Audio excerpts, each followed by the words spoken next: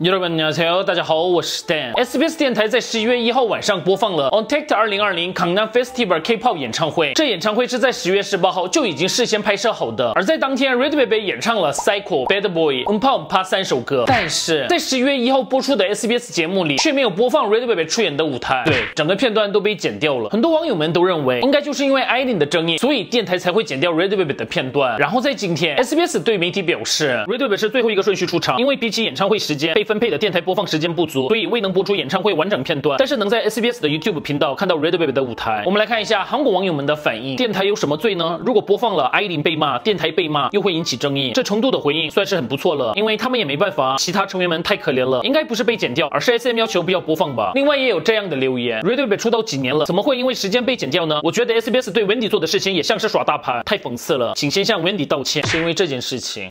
其实，在艾琳争议之后，现在在韩国网络上，很多网友们都表示，为了其他四位成员们，艾琳也需要退团。但是，也有网友们认为，如果艾琳退团了，剩下的成员们就可能会跟 FS 一样的被冷冻。嗯。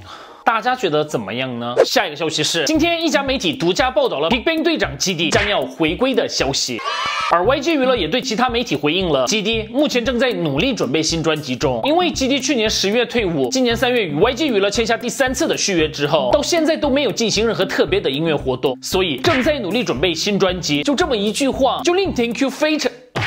就令 K-pop 粉丝们都非常期待。目前虽然还不确定这是 BigBang 的专辑还是 GD 的个人专辑，但是这有什么意义呢？希望马上就能在影片里提到 GD 的新专辑。